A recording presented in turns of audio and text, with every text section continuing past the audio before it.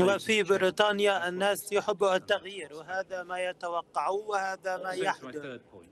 نقطتي الثالثة هي عن الديمقراطية. كثير من النقاش عن بريكزيت يكون ديمقراطي. النقاش الديمقراطي بشأن التجارة والتأشيرات؟ هذه قضايا هامة. والآن أصبحنا جاهزين لها. ولكن الهدف الأساسي من بريكزيت هو الديمقراطية. أن نسمح بالنقاش وأن نفعل الأمور بطريقتنا وأن نفتح المجال للفرص الاقتصادية والسياسية. هذا جوهري في أغلب البلدان الأعضاء. الأشياء الهامة تتغير من خلال سياسة الاتحاد الأوروبي كالسياسة الخاصة بالهجرة والمالية والتجارة وما إلى ذلك. هذا خيارهم. ولكن ونحن لا نشكك فيه. ولكن خيارنا هو أن من ننتخبهم هم الذين يتناقشوا ويقرروا. وهذا النقاش يحدث في بلدنا. فال مثلا سياسة التجارة سيتناقش فيها البرلمان. وكل عضو يوضح رأيه. نحن لدينا أيضا نقاشات بشأن الهجرة. الهجرة الحرة. ولكن المنضبطة.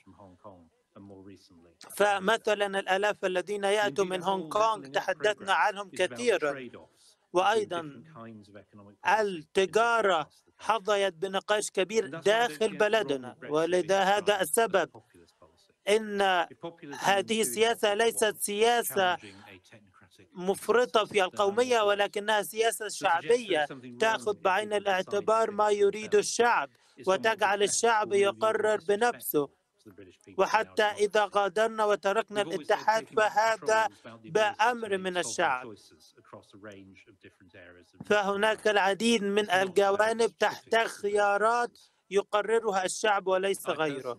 أنا بشكل شخصي أقول أن الرأسمالية الخاصة التي تعتمد على السوق الحر هي الأفضل.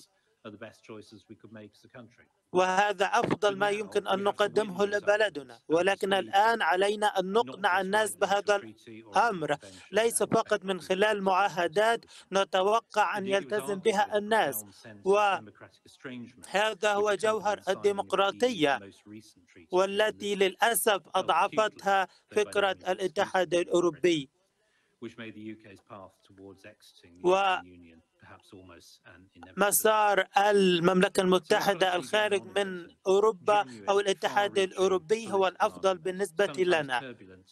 البعض يكون هنا أحيانا تكون هناك مشكلات وتضارب ولكن في النهاية الديمقراطية هي الأفضل. السؤال ما هو مستقبل علاقتنا مع الاتحاد الأوروبي؟ أولا هناك صعوبات ولكن هناك أيضا تعاون إيجابي. نحن نتعاون بشأن سياسات العقوبات ويمكن أن نساعد أكثر في سياسات الدفاع وأيضا الجمارك نستطيع أن نتفاعل ونتعاون فيها.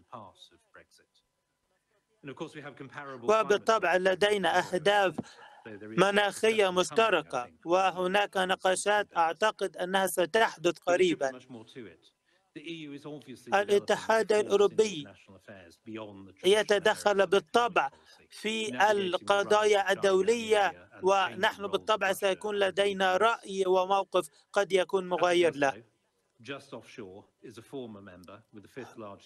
نحن نحن بلد كبير لديها خامس اقتصاد في العالم ولدينا أكبر إنفاق على الدفاع في أوروبا. ولكننا لدينا نفس القيم الديمقراطية مع بقية بلدان أوروبا. هذه الحقائق يمكن أن نتعامل معها بطرق مختلفة داخل الاتحاد. المنافسة بيننا ستفيدنا.